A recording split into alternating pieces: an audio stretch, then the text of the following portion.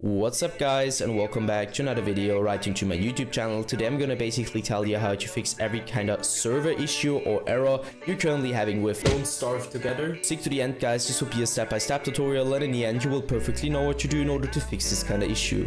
Before we start right into the video, I just want you guys know or let you guys know that I would really really appreciate it if you would just leave a like, a comment or a subscription right into my YouTube channel. It would really make my day and help me out as a little YouTuber as I am. Especially subscribing would be such a big support for me guys. You would support my work here on YouTube a little bit and I'm gonna really really be thankful for that and I'm gonna thank you for that. So anyways, I would just say let's get right started.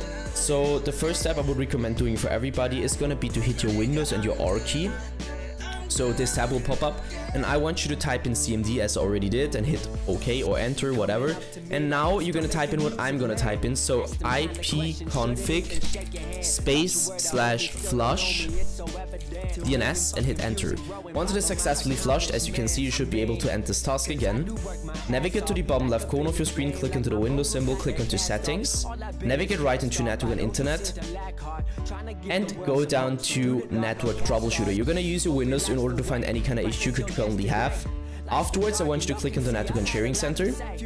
Now, I want you to navigate to the top right corner.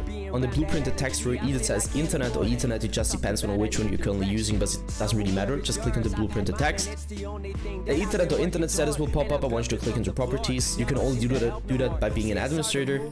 Hit Internet Protocol version 4 enable use the following DNS server addresses and now you need to Google them. So first of all, you just go to Google and Google your DNS server address for Google so you preferred an alternate DNS server address and just type it in or 4 times 8 at the top, so 8, 4, uh, as 8888 and 2 times 4 and 2 times 8 at the bottom, so 4, 4, 8, 8 and hit OK and apply.